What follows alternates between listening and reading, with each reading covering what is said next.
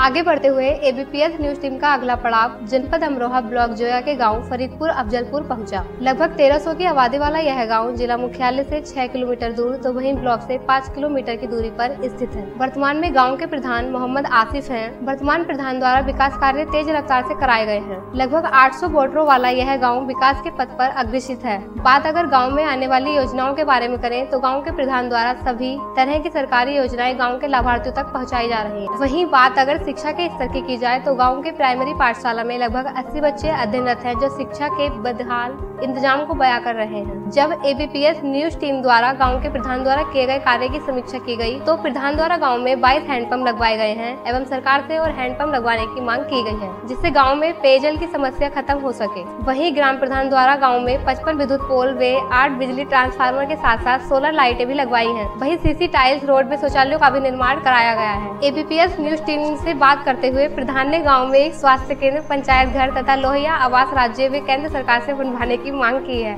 मैं ग्राम प्रधान मोहम्मद आसिफ, ब्लॉक जो है जनपद अमरोहा, उत्तर प्रदेश। गाँव की समस्याओं को लेकर काफ़ी गंभीरता उठानी पड़ रही है, शर्मिंदगी उठानी पड़ रही है। लोग बागों के काम समय पर नहीं हो पा रहे। विधवा पेंशन, विकलांग पेंशन नहीं बन पा रही। लोग बागों की राशन कार्डों में दिक्कत आ रही है। जबकि परिवार ज़्यादा है, राशन कम मिल रहा है गाँव को।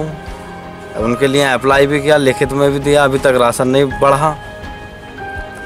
और कई रास्ते अहम हैं, जो विधायक निधि एमपी निधि के होने वाले हैं, उनमें हम विफल हो रहे हैं, तालाब की दीवार है। ग्रामीणों ने बताया कि गाँव के प्रधान, गाँव की तरक्की एवं विकास के लिए हमेशा तत्पर रहते हैं, और यह भी बताया कि यदि सरकार द्वारा धनराशि का आवंटन सही समय पर किया जाए तो हमारी ग्राम पंचायत की दशा और सुधर सकती है।